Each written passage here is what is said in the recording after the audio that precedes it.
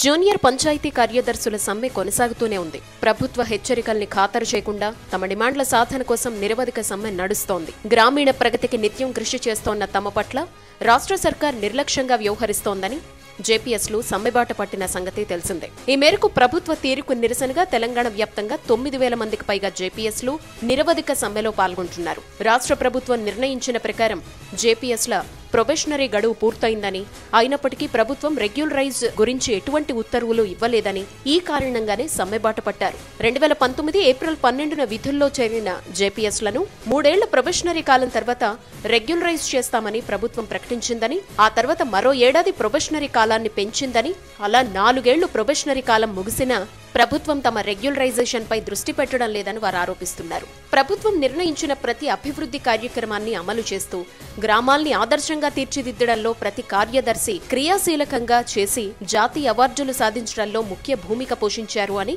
అలాంటి తమపై నిర్లక్ష్యం తగదని వారు పేర్కొన్నారు.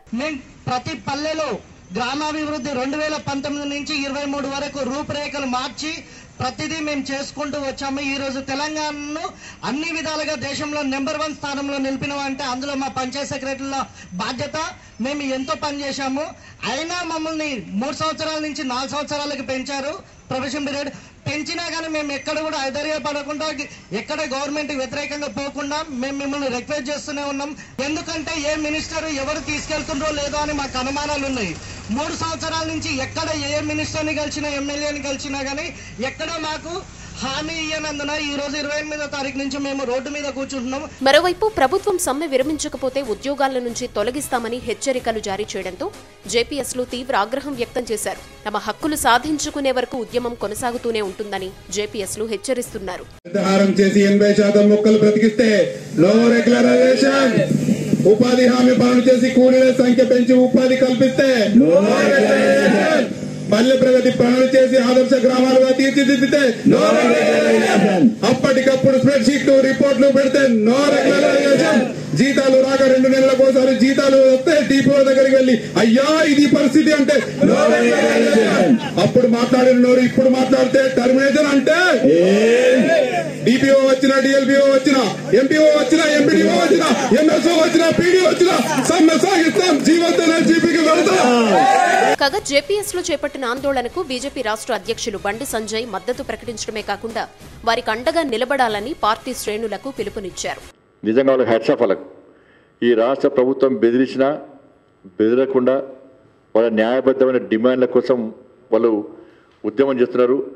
నేను మళ్ళీ చెప్తున్నా మీకండగా భారతీయ జనతా పార్టీ ఉంటుంది. ఒక ముఖ్యమంత్రి శాసనసభ సాక్షిగా కష్టపడి చదువుకున్న ఉద్యోగులకు నాలుగు సంవత్సరాలు చేయండి తర్వాత రెగ్యులర్ చేస్తామని చెప్పి ముఖ్యమంత్రి నోటి నుంచి వచ్చిన మాట ఆచరణ చూపెట్టకుంటే నీ మాట మీద ఎవరితో నమ్మకం ఉంటుంది. అంటే ఏది సాధించలే? అన్ని అన్న అన్ని పేకుడే కానీ ఈ పేరే పేకుడు ముఖ్యమంత్రి. ఫేక్ ముఖ్యమంత్రి పేకుడు ముఖ్యమంత్రినే. నీకు గ్రామ పంచాయతీలకు అవార్డ్స్ వచ్చినాయంటే వాళ్ళ కారణమే. ముఖ్యమంత్రి ముఖ్యమంత్రి కొడుకు బిడ్డపై తట్టం వేలే ఆడ. ఈరోజు వాళ్ళు ఉద్యోగాలు కాపాడడం కోసము ఉద్యోగాల కోసం జీతాల కోసం సమ్మె చేస్తుంటే వాళ్ళు బేడిచే ప్రయత్నం చేస్తున్నాం ఇప్పుడు కూడా తెలంగాణ రాష్ట్రం ఎందుకు వచ్చేదని ఇప్పుడు బాధపడుతున్నారు.